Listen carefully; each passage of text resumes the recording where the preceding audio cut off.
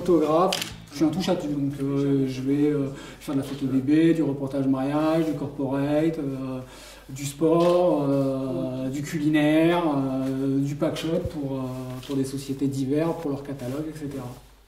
J'ai eu un accident vasculaire cérébral en 2008 où je suis resté 14 mois hospitalisé. J'étais hémiplégique, je suis arrivé, j'étais en fauteuil roulant. J'avais des problèmes cognitifs.